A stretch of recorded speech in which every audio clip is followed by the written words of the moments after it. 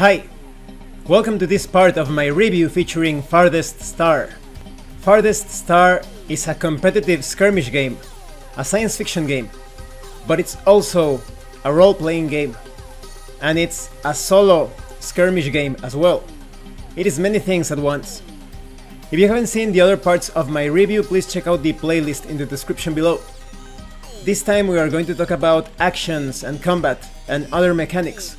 And I also wanted to inform you that Farthest Star is now available as a physical book.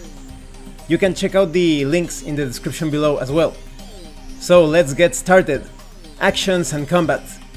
As a skirmish game, Farthest Star involves battles between relatively small numbers of model figures per side. Crews will range in size between 2 to 7 models. When you play the scenarios from chapter 4 in this book, each one will offer suggestions for the type and number of models your crew might face. This becomes especially important for solo and co-op games. When it comes to the combat round, like most miniature games, Farthest Star features a specific sequence of events that helps to organize the tabletop action. We call this sequence the combat round. The combat round breaks down into two phases, initiative and taking turns. A round consists of a number of turns equal to the number of models involved in the battle. Each model gets a turn to activate. During phase 1 initiative, you need to use a standard deck of 52 playing cards minus the jokers, and every character usually receives one card to determine initiative. This includes player characters and AI controlled game characters. Each round you will deal cards from the deck to each character, dealing cards face up and determining turn order by the value of each card, and you break any ties by comparing the suits of the cards. Traits like Chosen and Enhanced Senses can grant a character an extra card on initiative. You can see those trait descriptions for specifics on what benefits the extra card grants to the character in the relevant section. Sometimes it will allow the characters to take the better of the two, that is the two cards, and sometimes it may grant them a second turn that round, one on each card. At the end of the round, you place all of the current initiative cards into a discard pile next to the card deck. When it comes to reshuffling, you will reshuffle the initiative deck once you've dealt out your last card. Simply pick up the discard pile and shuffle it vigorously.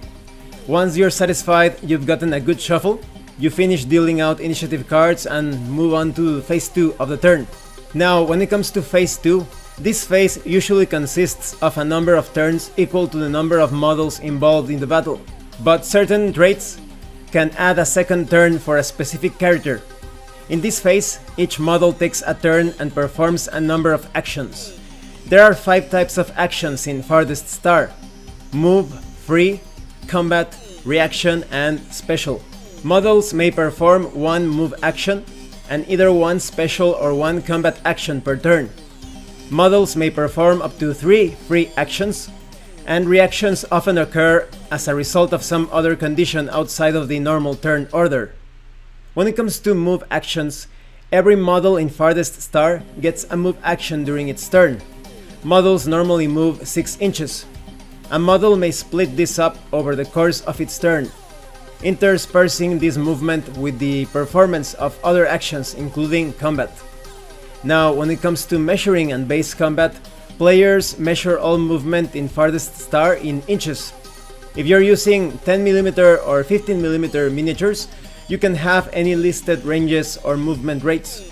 Players should measure movement from the edge of the model's base to the edge of an opposing model's base, in the case of measuring distances for melee and ranged combat. Base contact occurs when one model's base touches another model's base, of course. This is normally the only way enemy models may fight in melee. Now concerning zone of control, models cannot move through the space occupied by enemy models. Every model in the game has a 1 inch area all around it.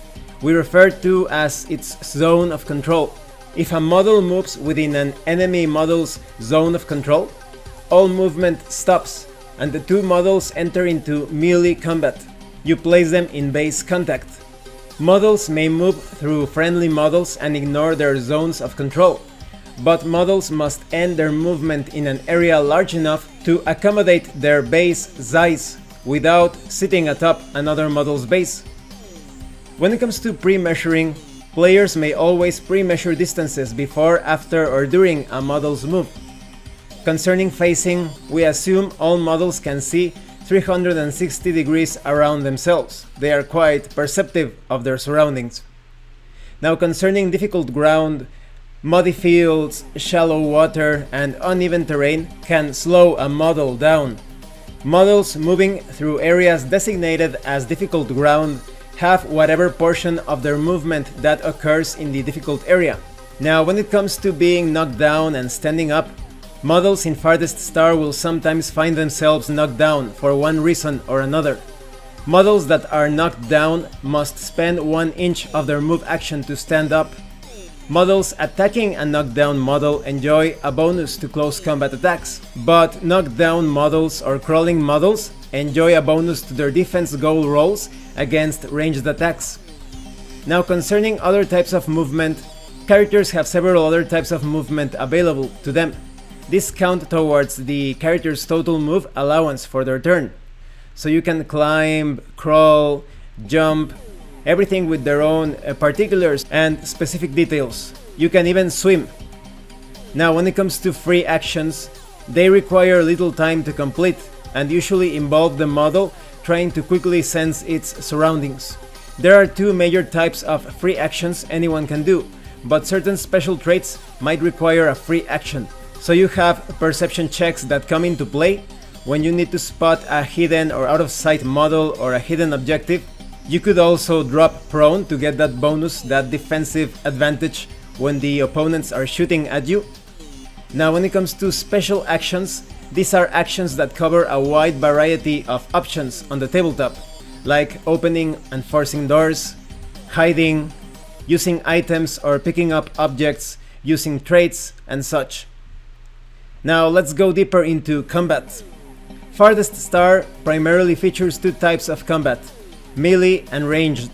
Both involve opposed goal rolls. A model may expend its combat action to do one of the two, but not both. In this game, an attack goal roll can represent both a single well-aimed blow or a flurry of shots or swings. If you're playing a player versus player game, each player gathers their dice pool and rolls.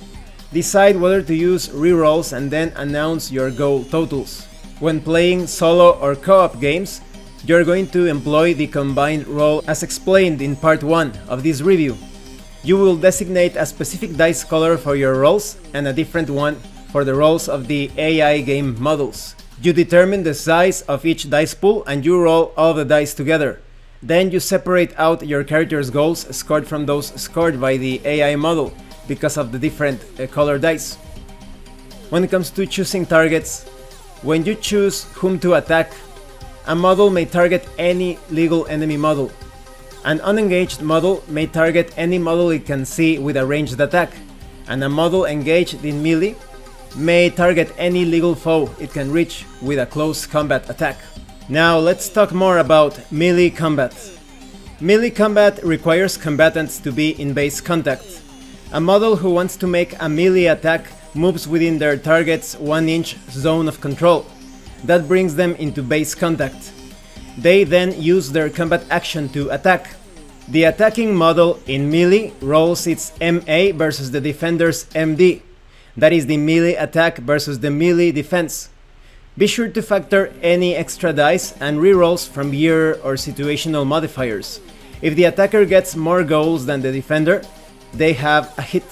And the difference between the goals scored on the attack check and the goals scored on the defense check equals the health loss inflicted by the attack. If the defender ties or gets more goals than the attacker, they have fought them off. Now when it comes to breaking from melee, a model can move out of a melee, but its opponent can launch an immediate free attack on the escaping model. This attack is still opposed, as it is assumed that the model breaking from combat is making a fighting withdrawal from combat. If it's fighting multiple opponents, each one gets a free attack versus a single defense goal roll. Even if the model breaking from combat suffers health loss, it can still get away, as long as it does not suffer a knockout. If a model attacks and damages a foe, then breaks from melee that same round, the foe damaged by its attack does not get the normal free attack on the model breaking from combat.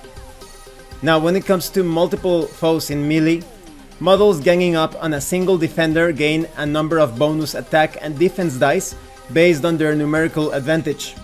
If two models were attacking one model, each of the attacking models would gain a bonus to their attack rolls.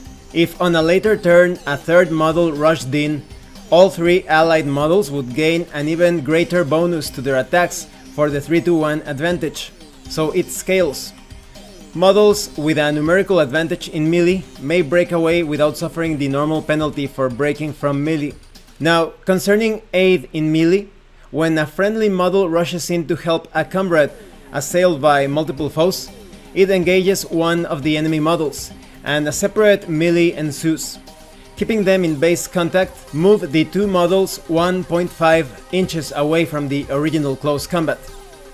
Now when it comes to knockdown models, they are more vulnerable to attack, and models in melee against them receive a plus 1 die bonus on the attack goal roll. Now let's talk about ranged combat. Ranged combat occurs when a model attacks another model from a distance beyond base contact. In order to make a ranged attack, a model must have either a special trait that specifies it works at a distance or a ranged weapon. Models roll their ranged attack stat as the basis for the ranged attack. Defending models oppose attackers with their ranged defense stat. Be sure to factor in any bonus dice or rerolls from traits, gear, or situational factors. If the attacker rolls more goals than the defender, the shot results in a hit and the difference between the goals scored on the attack check and the goals scored on the defense check equals the health loss inflicted by the attack. If the defender ties or gets more goals than the attacker, they have evaded the attack. Just as has been explained in the melee section, if you are playing solo, you will employ the combined roll method to generate goal totals for your own models and any AI controlled game models that you are facing. When it comes to ranged attacks in melee, unless a trait or special piece of gear dictates otherwise, you cannot use ranged attacks in melee. But when shooting into a melee, you can actually do that, but your shot may go awry and hit an unintended target. First, you declare your shot into the melee and make a ranged attack goal roll. Next, you use a single dice to randomize the melee participants, assigning each an equal chance to be hit. Once you roll whom you actually targeted, that model can make its range defense check. Now concerning attack ranges, you measure the range between attacker and target before rolling any dice. Depending on the range, the attacker or defender's dice pools could be modified, and you use the same range chart for your intellect and will based ranged combat exchanges. Now concerning seeing targets, a model must be able to see at least some part of its target to hit it with a ranged attack. The acting player should get down to the model's eye level. If the attacking model cannot draw a straight, uninterrupted line of sight to some part of its target, it may not fire. Friendly models do not block a shooter's line of sight, but enemy models do. And when it comes to cover, Farthest Star counts two types of cover, hard and soft. Hard cover is any substance with stopping power like a starship's bulkhead, a cave wall, a cantina table. Soft cover is a less durable form of cover that might still spoil an attacker's aim or deflect a shot.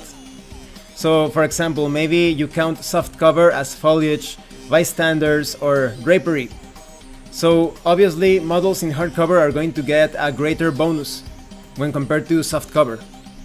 As models in this game are thought to be in constant motion, a model need only be partially obscured by the cover to receive its full benefits.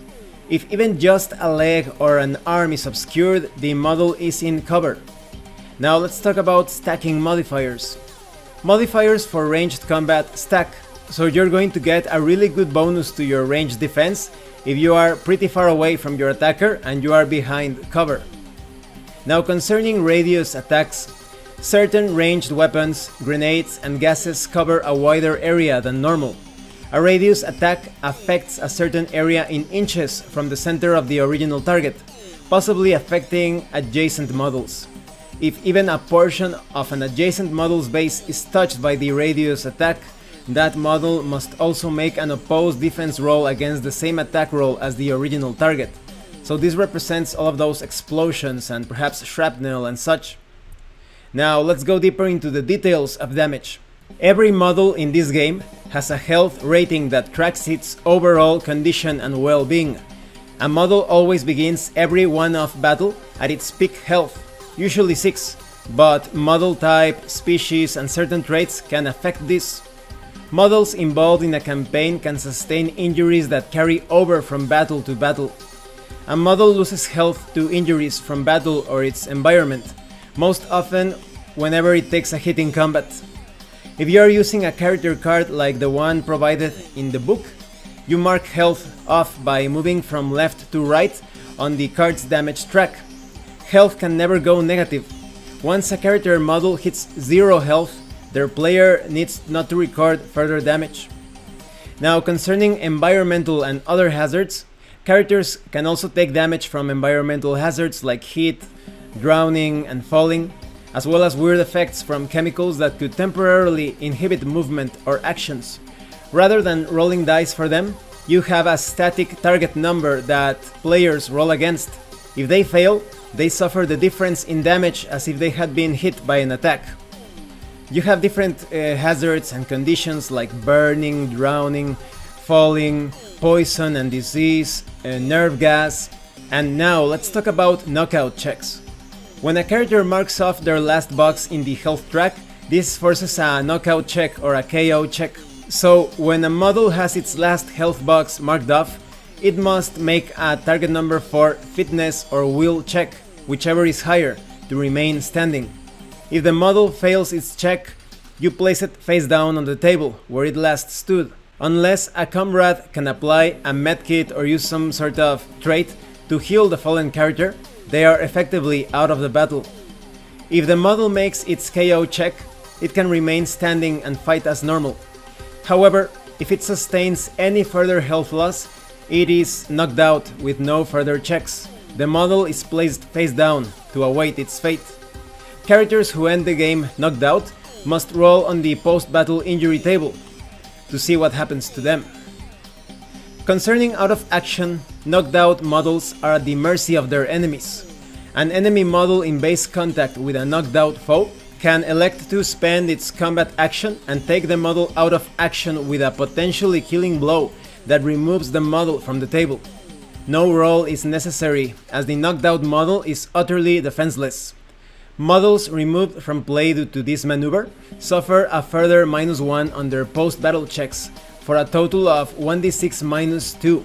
A model that is in base contact with both a knocked out model and a fully functioning enemy model cannot take a helpless model out of action, as it must fully concentrate on battling the more dangerous foe. Models may take a fallen foe out of action with a ranged attack, by spending their combat action and making a target number 3 ranged attack goal roll. The knocked out model must be within range and line of sight. And there are many different maneuvers that you can carry out in combat. This makes this game a very tactical experience. You have things such as aimed shot, all-out attack, charge, disarm, full defense, trip, and that is without counting the different traits and the weapons that you are wielding. So there are many options concerning what to do during each combat turn. Now let's talk more about playing solo or co-op games. When compared to other skirmish games, Farthest Star has the advantage of being played as either a traditional player versus player set of skirmish rules or as a solo and cooperative storytelling game. You will need to become familiar with the rules from the section concerning playing solo games to run those matches effectively of course, while there are many things to consider when running game-based or artificial intelligence models, you will quickly internalize the rules after a few games, that is, they are quite easy to learn. You can easily apply the necessary adjustments. While no set of written rules can anticipate every situation in a solo game, you can apply these rules and a little common sense to cover any situation or overcome any hang-ups or lulls in the action. That is when a situation is not very clear, you can apply some common sense with the logic of the rules.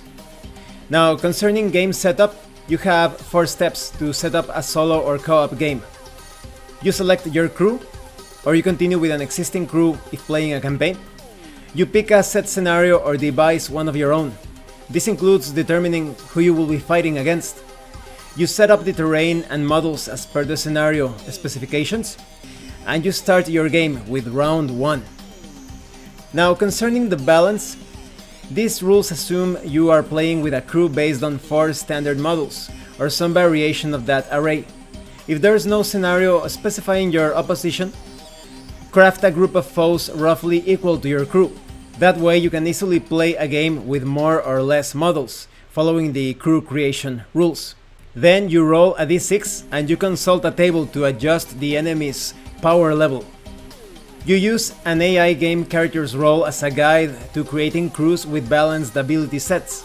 For example, an AI crew of 4 standard characters that can cover a number of threats and situations might include Commander, Brawler, Shooter, Techno.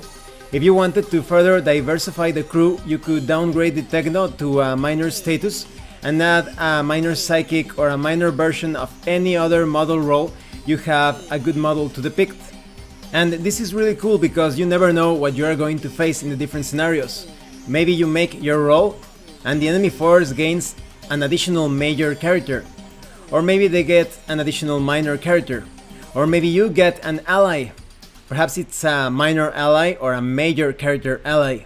And there are plenty of examples and tips on how to handle both solo and co-op games, and information on the different roles and guidelines for beastmasters, brawlers, commanders, lurkers, any sort of opposition or allies that could appear in a scenario. And when it comes to general rules, unless a scenario specifies otherwise, hostile AI characters will follow the guidance outlined in the previous sections. If the scenario features a primary objective, this could alter a model's basic behavior.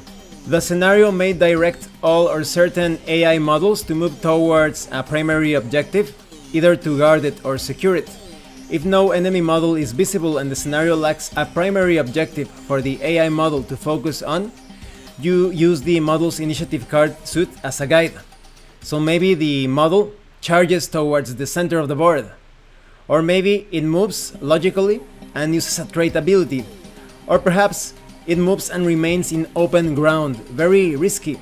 And of course you have further information and details concerning the use of traits, free action traits, rerolls, targets and movement, gang ups, etc. And this concludes the review for today. In the next part we are going to talk about scenarios, campaigns, enemies, the role-playing game aspect of this skirmish game. We are going to talk about additional rules and I will give you my final thoughts on Farthest Star. Thank you for watching this part of the review and thank you so much to those of you that have been supporting the channel by sending drive-thru RPG gift certificates. If anyone else wants to further support the channel, the information on how to do that will be in the description below. Once again, thank you and see you later.